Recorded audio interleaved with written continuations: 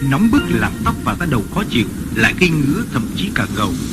Bạn chỉ mơ đến cảm giác mát lạnh sảng khoái như đang ở dưới thác nước này. Bạn sẽ luôn được toại nguyện với Clear bạc hà mới. Clear bạc hà trị sạch gầu và ngứa Với tinh chất bạc hà độc đáo Làm mát lạnh cả da đầu. Sạch gầu hết ngứa Chỉ có mái tóc đẹp. Và cảm giác mát lạnh. Nhờ Clear bạc hà mới. Clear bạc hà mới Mái tóc đẹp sạch gầu với cảm giác mát lạnh.